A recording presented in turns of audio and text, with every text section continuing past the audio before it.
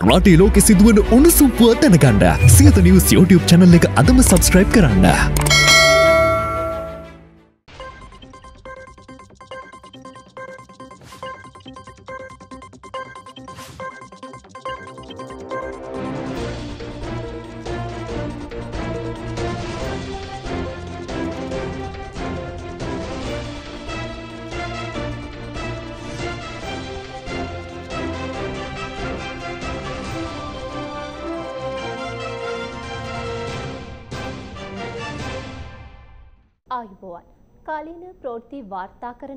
වාර්තාකරණයේ අංකික සැමට කලින් සත්‍ය හරියටම ඔබට කියන සියත රාත්‍රී ප්‍රෝෘති විකාශය සමගින් මම හසින් රමාශා ප්‍රථමයෙන් අවධානය පුවත් සිරස්තල වෙත.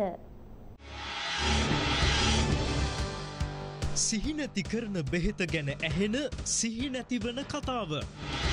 ට්‍රින්කො නොසන්සුන් දැන් සංසුන්. සිහිබුද්ධියෙන් සිටිය නැත්නම් ගෙදරින් එලියට බහින්නත් එලි බහින්න යන්නත් අවසරගන්න ඕනෙ නීති සම්මත කරලා තියෙන්න පුළුවන් කියලා අද ටෙලිවැකියෙන්. අර්ථ සාධකයටත් තට්ටුවෙයි. පොලියරිනවෙයි හර්ෂ කියයි. යකා නැටු මොකා බංග්ලාදේශයට සහ මියන්මාරයට මොකා ගියත් අපට තාමත් අද සුළං සහ වැසි. ඩෙංගු මර්ධන වැඩසටහන් රටපුරා. හරින් එක්ක ඉන්න වඩිවේල්.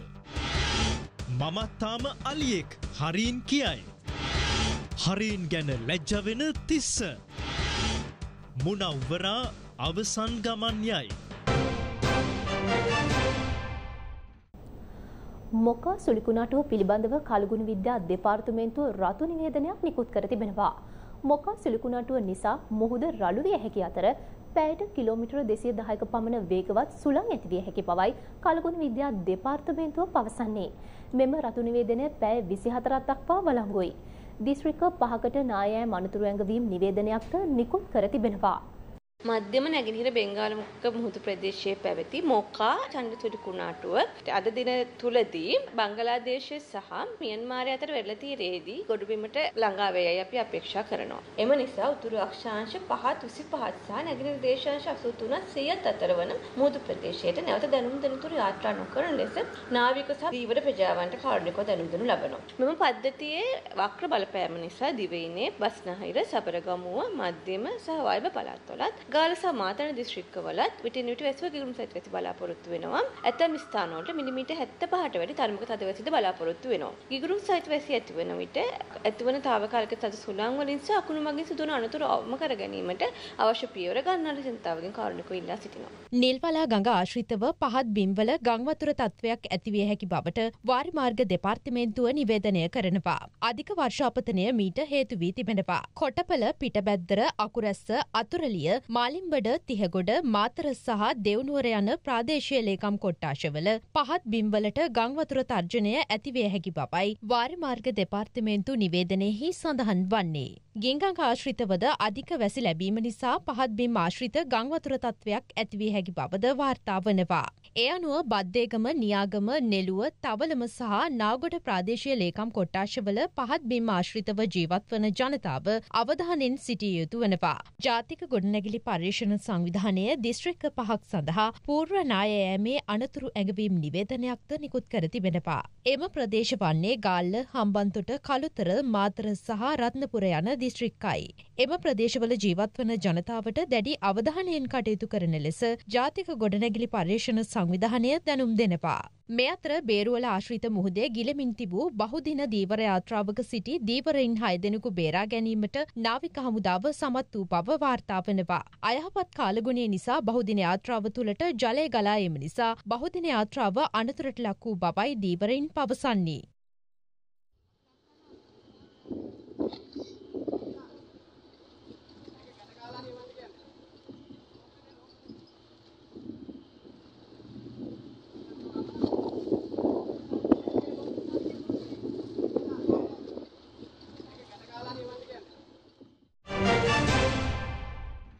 දිවයින පුරා ඩෙංගු මර්ධන වැඩසටහන් ආරම්භ කර තිබෙනවා.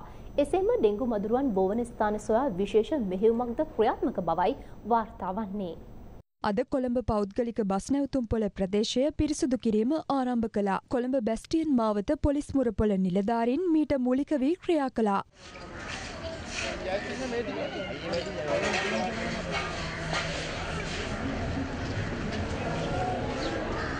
කෝට්ටේ නගර සභා බල ප්‍රදේශයේත් ඩෙංගු මර්ධන වැඩසටහනක් ඊයේ ක්‍රියාත්මක කර තිබුණා. පොලිසිය සහ යුද හමුදාව මීට එක්ව සිටියා. කුරුණෑගල පාසල් ආශ්‍රිතව ඇති උමන් මාර්ග තුළද ඩෙංගු මදුරුවන් බෝවන ස්ථාන ඇති බව වාර්තා වනවා. ඊට හේතුව මේ බොහෝ උමන් මාර්ගවල ඉදිකිරීම් අතරමඟ නතර කර තිබීමයි. වහලවල් ඉදිකර නැති නිසා ජලය එකතු වන බව අප වාර්තාකරු පවසනවා. අපේ ඉස්කෝලේ ළමයිට දෙන්න දෙන්න පුළුවන් ඒක නිසා මේක වතුර ටික අයින් කරලා දෙන්න. මේක ඩෙන්ගු මදුරු ඉන්නවා ඉක්මනට සුද්ධ කරන්න. බස්නාහිර පළාත ආශ්‍රිතව සිදු කළ පරීක්ෂණයකදී හෙළි වී ඇත්තේ කීට ගණත්වය ඉහළ ගොස් ඇති බවයි. ශ්‍රී ලංකාවේ කීට ගණත්වයේ තිබිය යුත්තේ බ්‍රිටෝ ඒකක පහකට අඩුවෙන්. නමුත් බස්නාහිර පළාත ආශ්‍රිතව කීට ගණත්වය බ්‍රිටෝ ඒකක තිහ ඉක්මවා ඇති බවයි කීට විද්‍යා නිලධාරින්ගේ සංගමය පවසන්නේ. මෙ අතර රට තුළ ඇතිව තිබෙන ඩෙංගු වසංගත තත්ත්වය සම්බන්ධයෙන් සෞඛ්‍ය වෘත්තීයවේදීන්ගේ විද්වත් සංගමේ සභාපති රවි කුමදේශ් අදහස් පළ කළා. තවමත් ලංකාවේ ඩෙංගු සම්බන්ධයෙන් මධ්‍යගත තොරතුරු පද්ධතියක් කාර්යක්ෂමව ක්‍රියාත්මක වෙන්නේ නැහැ. ඩෙංගු පරීක්ෂණය සඳහා අත්‍යවශ්‍ය සම්පූර්ණ රුධිර පරීක්ෂණය රජේ රෝහල් වලත් ඉතා අමාරුවෙන් තමයි කරන්නේ. මේ වෙනකොට අර උපරිම දත්ත සහිත රුධිර පරීක්ෂණ නතර වෙලා අර සාමාන්‍ය පරීක්ෂණ තත්වයට රසායනාගාර තල්ලු වෙමින් තියෙනවා. ලියාපදිංචි කර නැති නිර්වින්දන එන්නත් රෝගීන්ට භාවිතා කර ඇති බව වාර්තා වනවා.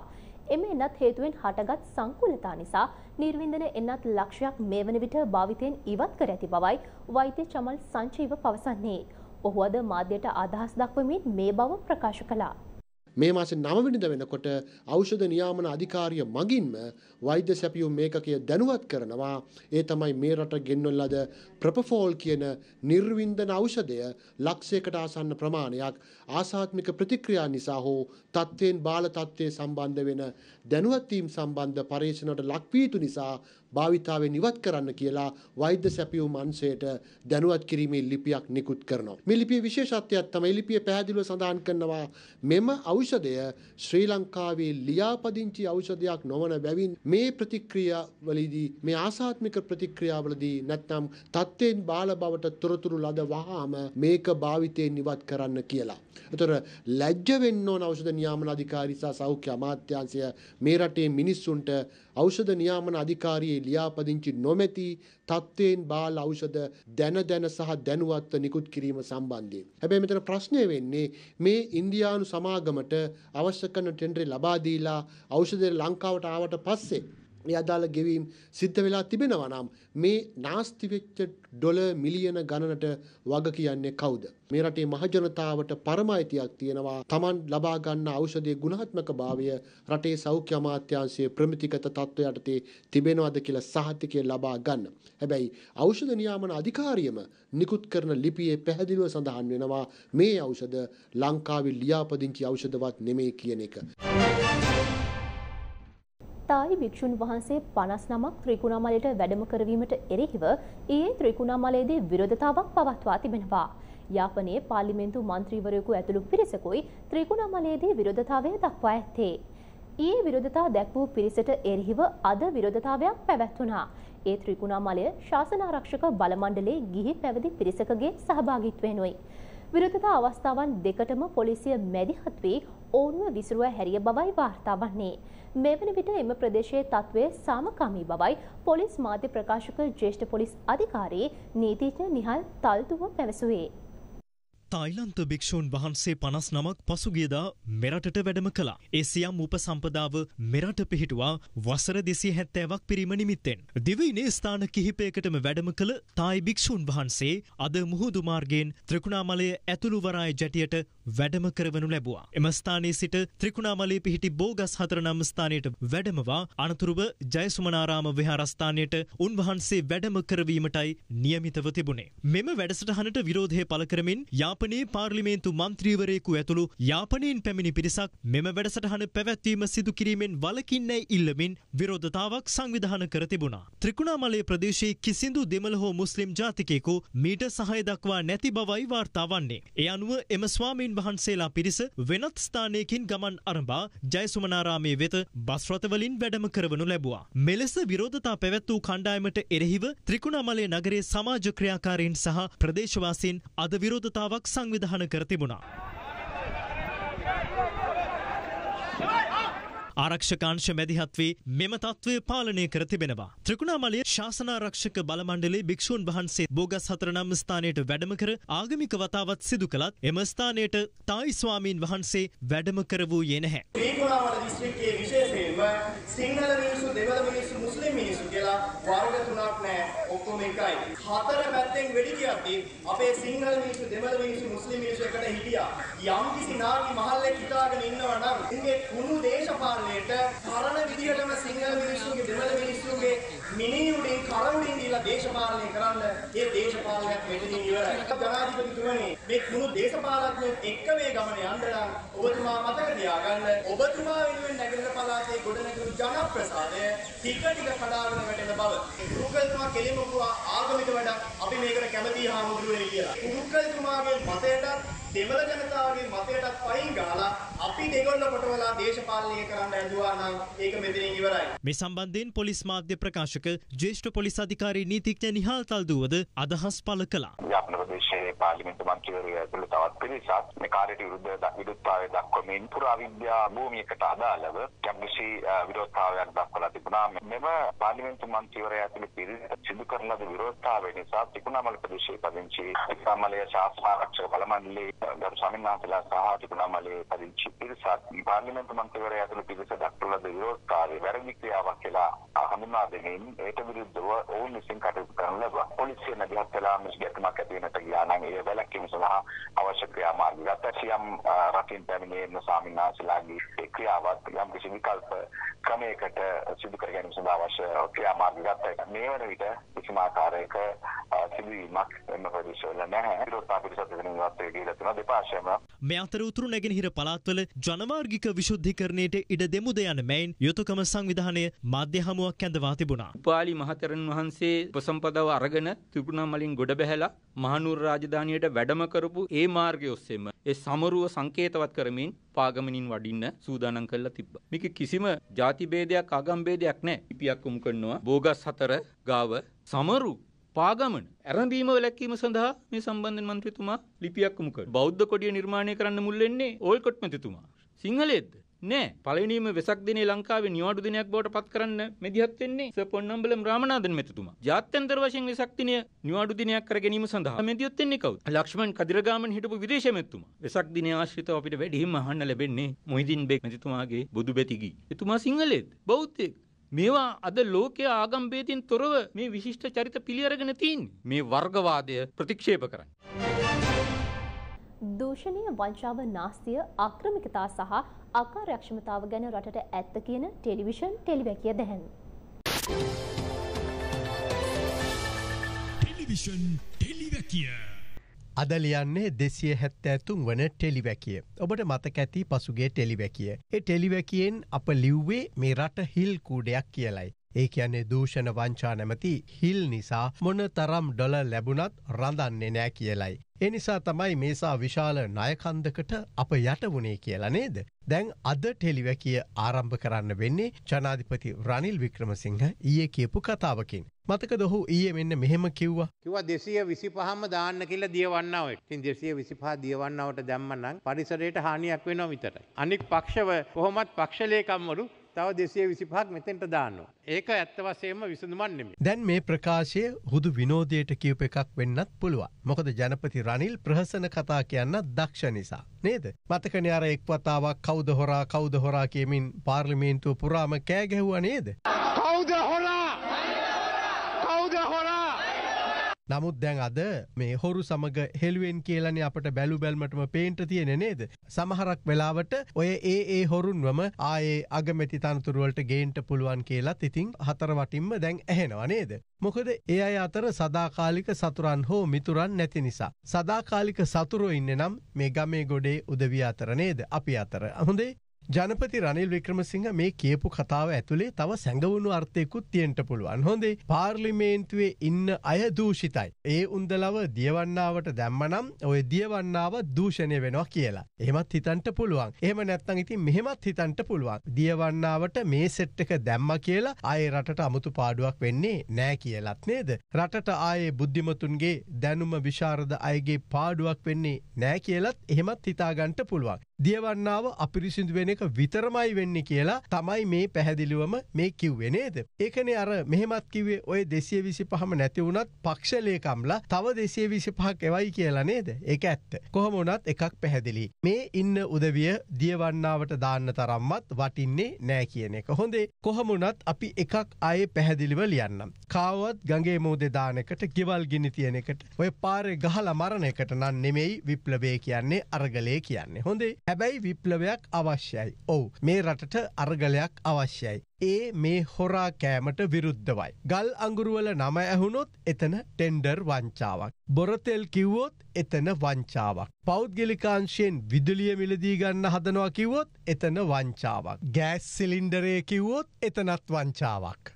අර ඇත අතීතයේ සුනාමිය ආව එතන වංචාවක්. සීනි බදු කිව්වොත් ඒක හතරවරන් වංචාවක්. බැඳුම් කරේ කිව්වොත් එතන වංචාවක්. චීන පොහොර නැව කිව්වොත් පොහොරත් නැති නැවත් නැති ඩොලර් විතරක් ගෙවපු අම්මු හොරකමක්. කොවිඩ්ඩාව ඒකත් වසංගතයකට වඩා සමහරුන්ට සුයිප් එකක් ඇදුන වගේ වුණා නේද. සමහරු ඇන්ටිජන් වලින් ගැහුව තවත් සමහරු කොවිඩ් මරණවලින් ගහගත්තා තවත් සමහරු මේ හෝටල් දීලා ඒකෙන් ගසා කෑව ඒ හැම තැනම වංචාව. අහිංසක රෝගීන් ගැන කතා කරනකොට රෝගයාගේ බේත් පෙත්ත වංචාවක්. සෞඛ්‍ය කියන්නේ හොර ගුහාවක්. පිටරට රස්සාාවකට යන මිනිස්සුන්ගේ රක්ෂණය පැත්තෙන් ඇහුණොත් එතනත් හොරා කනවා කියලයි ඇහෙන්නේ. අපේ මුහුදේ ගිලුණු නැවගැනගත්තොත් ඒක හතර මහ නිධානය බවට පත්කරගත්ත කණ්ඩායමක් ඉන්නවා කියලා දැන් පැහැදිලි නේද. කෞද හොරා කියලා හොයාගන්න බැරිතරමට හොරු ගොඩයි. ඒවගේමයි බදු එකතු කරන්ට තියෙන දේශී ආදායම් බදු දෙපාර්තමේන්තුව බදුටික එකතු කරගන්ට බැරි ආයතනයක් නේද. ඒක ඊය අර කෝපාවලදි හෙළි වුණා. මොනතරම් විහිලු සහගත කතාද එතනදි ඇහුනේ නේද. තොරතුරු හරියට කියන්න මේ මේ නමසී ගානක් හයසී ගානක් එහෙම බෑ. අපි හිතමු ජනාධිපති කියලා. මම නෙවෙයි. ජනාධිපති. අහනවා මට අද මේ රටේ තියෙන ටැක්ස් තත්ත්වය මට රිපෝට් එකක් පැය 24ක් ඇතුළත දෙන්න කියලා ඉන්ඩියන් රෙවෙනියු එකට කිව්වොත් දෙන්න පුළුවන් තත්ත්වයක් තියෙනවා. අපිට දෙන්න පුළුවන්. නමුත් ඒක 100%ක් මේ සිස්ටම් එක ඇතුළේ තියෙන දෙන්න පුළුවන්. ඒ කියන්නේ අපි බිලියන 16ක් වියදම් කරලා හදපු සිස්ටම් එකෙන් තාම අපිට මේ වාර්තාව අද වෙනකොටත් ගන්න බෑ. දාපු තොරතුරු විතරයි අපිට සිස්ටම් එක එකෙන් ගන්න පුළුවන්. දැන් සිස්ටම් එකට දාගන්න බැරි වෙලා තියෙන්නේ ඒ මොඩියුල් කීපයක් කම්ප්ලීට් කරේ නැති නිසා. ඉතින් 2017 විතර ඉඳන් ඔය උත්තරේම තමයි ලැබිලා තියෙන්නේ. ඉතින් නමුත් අවුරුදු 6ක් වෙනවා ක්‍රියාත්මක වෙලා නැහැ. මේ සියල්ල අතරේ එක එක ජාතිය පනත්වෙනවා. මහ බැංකු පනත ප්‍රතිත්‍රස්ත පනත සමාජ මාධ්‍යන්‍යාමන පනත නේද. අද ලෝකේම දන්නවා ඔය ප්‍රතිත්‍රස්ත පනත ගෙනත් මොකද්ද කරන්ට හැදුවේ කියලා. මහබැංකු පනතේ වගන්ති හතලිස් ගානක් ගැන අධිකරණය කියපු කතාව ඇහුවාම මේ පනත් හදන්නේ කවුද කියන එක ඇත්තටම ප්‍රශ්න කරන්ටම අවශ්‍යයි. හොඳේ ඇත්තටම මේ රටේ මේ හිල්කූඩිය වෙනුවට අලුත් බකට් එකක් අවශ්‍යයි. මේ රටට දැන් අලුත් ක්‍රමයක් අවශ්‍යයි. අරගලේ පුරාම ඇහුණු බුද්ධිමත් තරුණ හඬ ඇතුළෙ තිබුණේ අලුත් ක්‍රමයක්. එකට නෙවයි සිස්ටම් චේන්ජ් කෙලකුවේ මොකක්දේ අලුත් ක්‍රමේ. ඒ අලුත් ක්‍රමේ තමයි මේ රට වහාම නීතිය මත පාලනයට එහෙමත් නැත්තම් ද රූල් of ලෝ යටතට පත් කිරීම. රූල් of ලෝ යටතට පත් කිරීම. නීතිය මත පාලනය නැමැති සංකල්පය පිළිබඳව ගෞරුවය හිමිවෙන්නේ මහබ්‍රිතාන්නේ කීර්තිමත් නීති විශාරදයක වූ කෝන්වෝල්හි බින්හැම් සාමිවරයට. ඔහු නීතිය මත පාලනය නැත්තම් රූල් of ලෝ යන්නට කෙටි නිර්වචනයක් ඉදිරිපත් කරනවා. ඒ තමයි නීතියෙන් දෙනු ලබන බලයේ සීමාව මත පමණක් රජයට අදාළව ක්‍රියා කරන ඕනම නිලධහරියෙක් කටයුතු කළ යුතු බව. ආපව්හාගන්න නීතියෙන් දෙනු ලබන බලයේ සීමාව මත පමණක් රජයට අදාළව ක්‍රියා කරන ඕනම නිලධහරිය කටයුතු කළ යුතු බව. එකැන හිතු මතේ අභිමතේ පරදි කටයුතු කරන්නට බෑ කියන එක. ඒකැන්නේ රජයේ ඉහළම පුද්ගලයා ජනාතිපතිගේ සිට අධිකරණය විනිශ්්‍යකාරවරුන් දක්වා ක්‍රියා කළ යුත්තේ තමන්ට නීතියෙන් පවරා ඇති ආකාරයට කියන එක තමයි මේකෙන් කියවෙන්නේ. නීතියෙන් දෙනු ලබන බලයෙන් ඔබ්බට ගොස් වැඩි බලයක් භාවිත කිරීම බරපතල වර්දක් බව මේ කීර්තිමත් නීති විශාරදයා රූල් of ලෝ ග්‍රන්තේ පැහැදිලිව සඳහන් කර තිබෙනවා.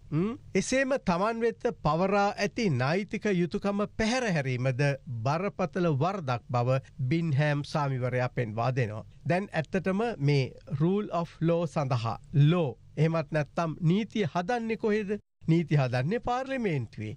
ඒ පාර්ලිමේන්තුවේ නීති හදන්නේ ප්‍රසිද්ධියද රටේ සාමාන්‍ය ජනතාවට තියා නීති විශාරදයින්ටවත් අපේ රටේ නීති හදන්න පෙර සහ.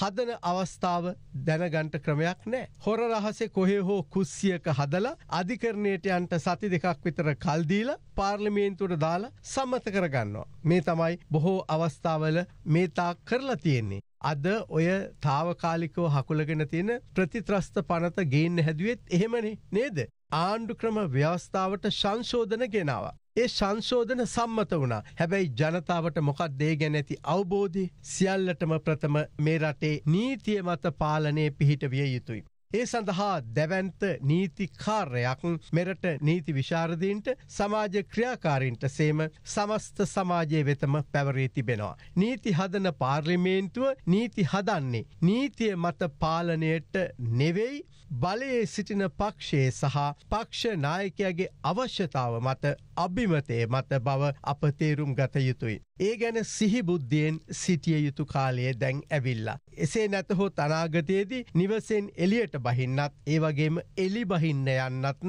බොහෝ වෙලාවට අවසරගන්න නීතියක් සම්මත වෙලා තියෙන්ට පුළුවන් කියලා අද ටෙලිවැකිය අවසන් කරනවා. මෙරටට පැමිණ සිටින ජාත්‍යන්තර මූල්‍ය අරමුදලේ දූත පිරිස සහ වෘතියකින්ගේ වෘතිය සමිති එකමුතු අතර සාකච්ඡාවක් පවත්වා තිබෙනවා. ඒ කොළඹ ප්‍රධාන හෝටලයකදී. දේශීය ණය ප්‍රතිව්‍යුහගත කළේ නැත්නම් විදේශීය ණය ප්‍රතිව්‍යුහගත කරන්න හැකියාවක් නැති බව IMF නියෝජිතයින් එහිදී ප්‍රකාශ කර තිබෙනවා. මෙහිදී රජයේ නව බදු ප්‍රතිපත්තිය සම්බන්ධයෙන්ද දීර්ඝ වශයෙන් සාකච්ඡා වී තිබෙනවා.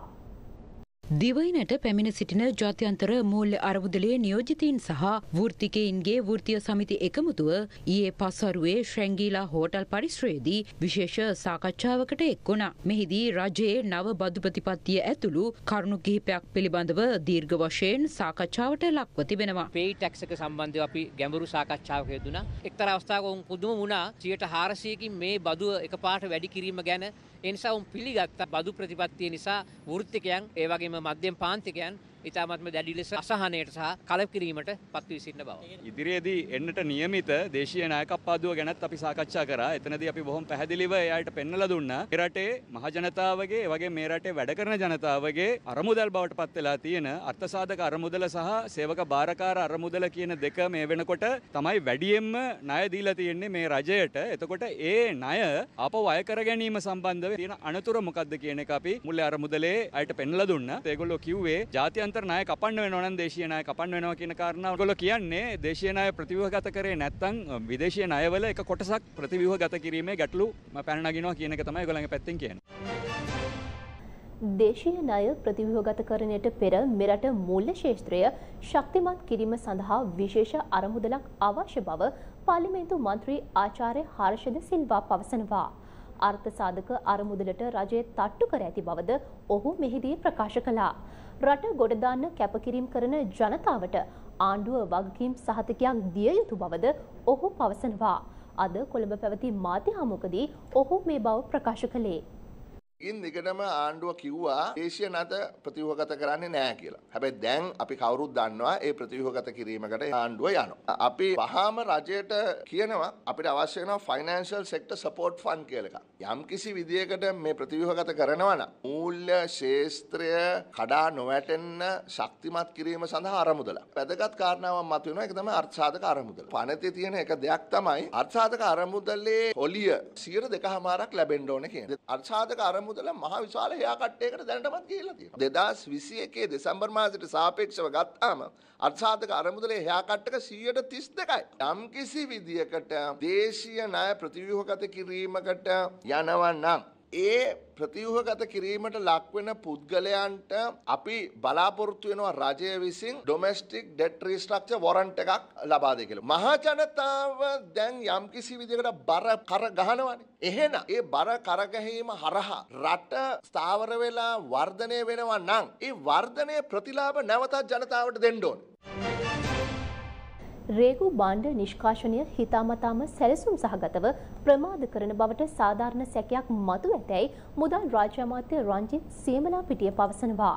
එහි යටි අරමුණ නිවැරදි අධීක්ෂණයක් නැතිව කඩිනමින් බාණ්ඩ මුදා හැරීම විය හැකි බවයි රාජ්‍ය අමාත්‍යවරයා පවසන්නේ. මෙවැනි තත්ත්වයකට ඉඩ දෙන්නේ නැති බවද ඔහු අවධාරණය කරනවා.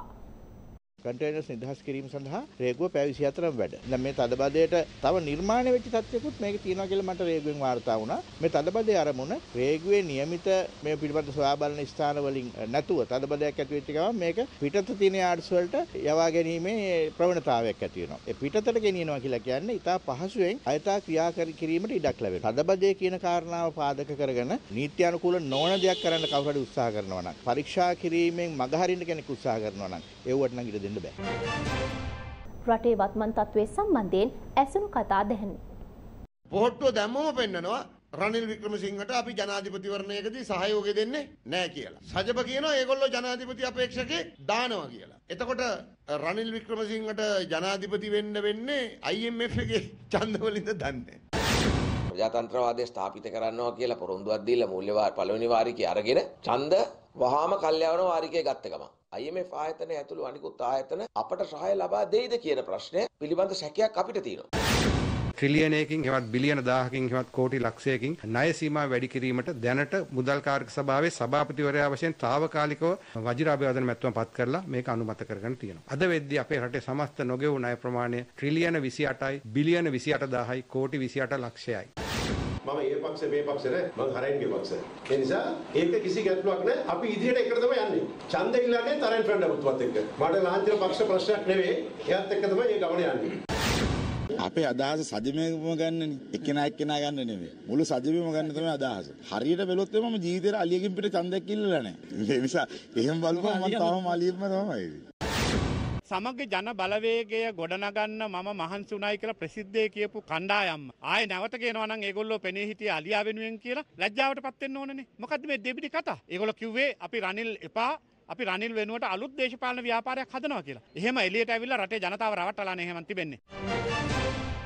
ඉන්දියානු සාගර කලාපයේ සහයෝගීතාවය උදෙසා සිය වගකීම් ඉටු කිරීමට ශ්‍රී ලංකාව සූදානම් බව අමාත්‍ය නිමල් සිරිපාලද සිල්වා පවසනවා. ඔහු මේ බව ප්‍රකාශ කළේ බංගලාදේශයේ ඩකානුවර පැවති ඉන්දයානු සාගර සමුළුව අමතමිනුයි. ඉන්දයානු සාගර සමුළුව බංගලාදේශයේ ඩකානුවරදී පසුගියදා පැවැත්වුණා. මෙම සමුළුවට ශ්‍රී ලංකාව සහ ජනාධිපති නියෝජනය කරමින් සහභාගී වුණේ වරාය හා නාවික ගුවන් සේවා අමාත්‍ය නිමල් සිරිපාලද සිල්වායි.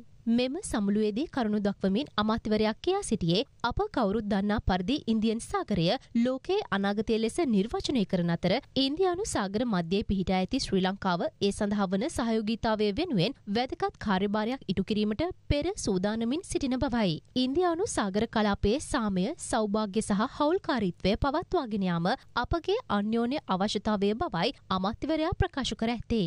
එසේම ඉන්දියන් සාගරය ජාත්‍යන්තර වෙළඳාම සඳහා අත්‍යවශ්‍ය කලාපයක් වන අතර ස්වභාවික සම්පත්වලින් අනුන කලාපයක්ද වන බැවින් ඉන්දියන් සාගරයේ සාමකාමී සහ සමෘද්ධිමත් කලාපයක් ලෙස ස්ථාවරව පවත්වාගෙන යාම සහතික කිරීම අත්‍යවශ්‍ය වන බව ඔහු එහිදී වැඩිදුරටත් ප්‍රකාශ කළා. එහි ඇති බහුල සම්පත් මගින් තිරසර ලෙස කලාපයේ සියලු ජාතීන්ට සාධාරණ ලෙස ප්‍රතිලාප ලබාදිය හැකි බවත් එබැවින් සාගර කලාපයේ තිරසර භාවිතය සඳහා කලාපයේ සියලුම රාජ්‍යන් සඳහා වන අයිතිවාසිකම් මෙන්ම ඒ ඒ රාජ්‍ය සඳහා වන වගකීම්ද සහතික කිරීමට කැපවිය යුතු බව අමාත්‍යවරයා මෙහිදී අවධාරණය කළා.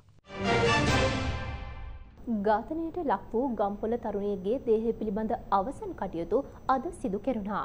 ඒ ගම්පොල ප්‍රදේශයේදී ඇගේ පශාත් මරණ පරීක්ෂණ වාර්තාව අධිකරණයට ඉදිරිපත් කරන බවයි මහනුවර අධිකරණ වෛද්‍ය නිලධාරිවරයා ප්‍රකාශ කළේ. ඝාතනයට ලක් වූ ෆාතිමා මුනව්වරාගේ සිරුර අද මහනුවර ජාතිකරෝහලේ සිට ඇජීවත් වූ ගම්පොල ඇල්පිටිය ප්‍රදේශයට රැගෙනයනු ලැබවා. ඇල්පිටිය වැලිගල්ල දර්ගා ජුම්මා පලියේදී ආගමික වතාවත් පැවැත්වුණ. එන් අනතුරුබයි ඇගේ සිරුර බොහමදානය කරනු ලැබුවේ.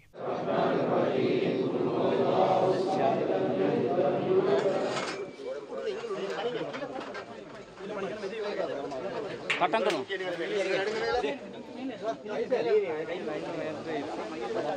ඇගේ සිරුර පිළිබඳ පශ්චාත් මරණ පරීක්ෂණය අද මහනුවර ජාතිකරෝහලේදී පැවැත්වුණා. ගෙලසිරකිරීමෙන් මෙම මරණය සිදුව ඇති බවත් ඇය අතවරයට ලක්ව නැති බවත් එම වෛද්‍යවාර්තාවේ සඳහන්. අදාළ සැකකරු ඇගේ ගෙල මිරිකා ඇති බවත් ඇබිම වැටුණු පසු ඇගේ කුඩේන් බෙල්ලට ඇන ඇති බවත් හෙළිව තිබෙනවා. ඉන් පසු ඇය කැලයට ඇදගෙන ගොස් වලදමා ඇති බවයි පොලිසිය පවසන්නේ. පසුගේ ඉරිදා දින සිට අතුරුදන්ව සිටි මෙම තරුණිය ඝාතනයට ලක්ව ඇති බව අනාවරණය වුණේ සැකපිට අත්අඩංගුවටගත් එළුවන් බලාගන්නා පුද්ගලයෙකු සිදු කළ පාපොච්චාරණය මතයි. විසිහතර හැවරදි එම සැකකරු එම ප්‍රදේශයේම පදිංචි එක්දරු පියෙක් බවයි අනාවරණය වී ඇත්තේ. අත්අඩංගුවටගත් සැකකරු අද ගම්පොල අධිකරණය වෙත ඉදිරිපත් කළ අතර එහිදී වැඩබලන මහේස්ත්‍රාත්වරිය නියෝග කළේ ඔහු ලබන විසි පස්වනදා දක්වා රක්ෂිත බන්ධනාගාරගත කරන ලෙසයි. හාලියල ප්‍රදේශයේදී සිදු වූ රියානතුරකින් පුද්ගලයන් එකොළොස් දෙනෙකු තුවාල ලබා තිබෙනවා. වෑන් රථයක් ගසක ගැටීමෙනුයි මෙම අනතුර සිදුව ඇත්තේ.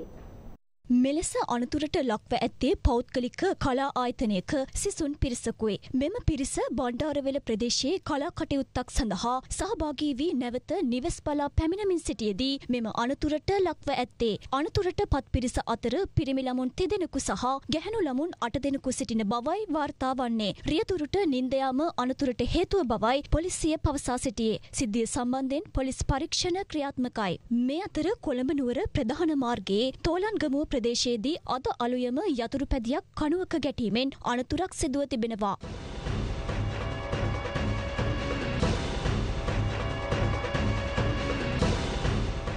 අනතුරින් එහි ගමන්ගත් අය කුමිය ගොස් අනෙක් පුද්ගලයා බරපතල තුවාල ලබා ඇති බවයි වාර්තා වන්නේ. මෙලෙස අනතුරට පත්ව ඇත්තේ සංගීත සංදර්ශනයකට සහභාගී වී නැවත පැමිණෙමින් සිටි පුද්ගලයින් දෙදෙනෙකුයි. අනතුරින් මියගොස් ඇත්තේ විසිතුන් හැවිරිදී තුන්තොට ප්‍රදේශයේ පදිංචිකරුවෙකු බවයි වාර්තා වන්නේ. මේ අතර වේගය පාලනය කර ගැනීමට නොහැකි වූ කැබ් රථයක් ඇලකට පෙරලීමෙන් අනුරාධපුර රාජාංගනය යාය පහ ප්‍රදේශයේදී අනතුරක් සිදුව තිබෙනවා.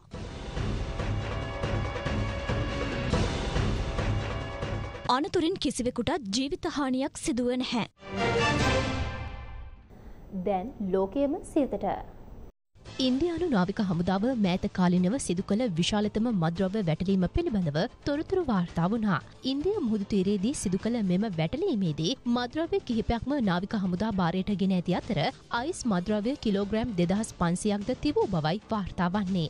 මෙම මද්‍රව්‍ය තොගෙහේ වටිනාකම රුපියල් කෝටි දොළොස් දහසක් වනවා. මේ සම්බන්ධයෙන් සැකපිට පාකිස්ාන ජාතිකයෙකු අත්තඩංගෝට ගෙන තිබෙනවා. ගාසා තිරය හා පලස්තින සටන් කමින් දින පහක සටන් විරාමයක් සඳහා කැමැත්ත පල්කර ඇති බව විදෙස් මාත්‍යවාර්තා කරනවා. මෙම ගැටුම්වලින් පලස්තීනුවන් තිස්තුන් දෙනෙකු මිය ගොස් තිබෙනවා. සටන් විරාමය සඳහා කැමැත්ත පලකිරීමට පෙර දෙපාර්ශවයම පැය දෙකක පමණ කාලයක් අකණ්ඩව ප්‍රහාර එල්ල කරගත් බව විදෙස් මාතයේ සඳහන්. බ්‍රිතානයේ තුන්වන චාල්ස් රජුගේ රාජාභිෂේකය පසුගේදා පැවැත්වුණා. රාජාභිෂේකයෙන් පසු පළමුවරට තුන්වන චාල්ස් රජුගේ පුත් විලියම් කුමරු සහ මුණුපුරු ජෝජ් කුමරු සමග සිටිනා ඡායාරූපයක් මාධ්‍යට නිකුත් කර තිබෙනවා. එසේම කැමිලා රජුණගේ සහෝදරියන් ඇතුළු පවුලේ සමාජිකින් සහිත ඡායාරූපයක්ද මාධ්‍යට නිකුත් කර තිබුණා. මෙම ඡායාරූප ගෙන ඇත්තේ බකින්හැම් මාලිකයේ සිංහාසන කාමරය තුළදී. තුර්කයේ ජනාධිපතිවරණය සහ මහමැතිවරණය පැවැත්වෙන දිනය අදහයි. ඒ අනුව ඉදිරි පස් වසර සඳහා ජනාධිපතිවරයෙකු හා පාර්ලිමේන්තුවට නව සභිකින් තෝරාපත් කර ගැනීම සිදු කෙරනු ඇති. වත්මාන ජනාධිපති හා තුර්කි විපක්ෂනායක කෙමල් කලික්ලොග්‍රෝ අතර තියුණු තරගයක් පවතිනවා. කෙසේ වූද අද පැවැත්වෙන චන්ද විමසීමේදී බහුතර බලය දිනා ගැනීමට කිසිදු අපේක්ෂකකුට නොහැකි වූහොත් ජනාධිපතිවරණය දෙවන අදේර ලබන විසියට වනදා පැවැත්වෙන බව විදෙස් මාතය සඳහන්. ශ්‍රී ලංකා නැගියන යොවුන් ක්‍රිකට් කණ්ඩායම සහ ජපන් ක්‍රිකට් කණ්ඩායම අතර සිව්වන විස්සයි විස තරගය අද පැවැත්වනා. එම තරගයේ ජයත් ශ්‍රී ලංකාව තමන් සතු කරගත්තේ තරඟ හතරට බින්දුවක් ලෙස තරඟාවලිය ජයත් හිමි කර ගනිමනුයි.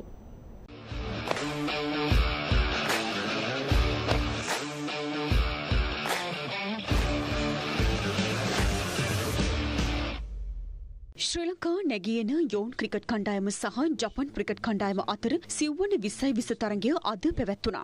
පළමුවෙන් පන්දුවට පහරදීම සඳහා පිටියට පිවිසියේ ශ්‍රී ලංකා කණ්ඩායමයි. එහිදී පන්දුවාර දහනවයයි පන්දු පහක් අවසානයේ සියල්ලන් දෙවී ශ්‍රී ලංකා කණ්ඩායම ලකුණු එකසිය තිස් එකක් ලබා ගත්තා. ශ්‍රී ලංකාව වෙනුවෙන් රන්විත ජයසේන ලකුණු තිස් නවයක් රැස් කළා. සකුණ ලියනගේ ලකුණු තිස් එකක් රැස් කරගත්තේ පන්දු දහනවයකදී. මෙහිදී ජපානය වෙනුවෙන් පන්දු යැවීමේදී කේකුබෝටා කඩුණු තුනක් බිඳහෙළු Ooh, it. Golden! Batsman is Jay Singh. He flicks it up his hip. Drops it in short. Nice shot there. That'll be four. Six overs. As he slashes at one. Drops it in short. Pulls it away.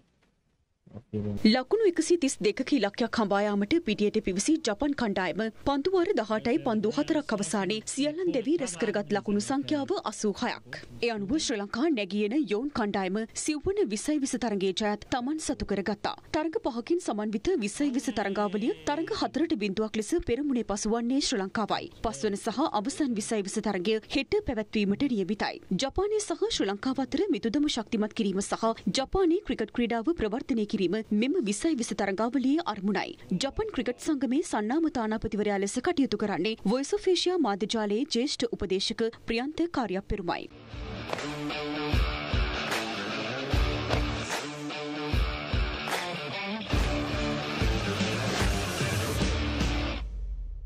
පුවත් නිමයි ඔබට සුභරාත්‍රයක්. දිනපතා අලුත් video සහ ප්‍රවෘත්ති නැරඹීමට ඉහත button එක click කර සියත TV සබස්ක්‍රයිබ් කරන්න.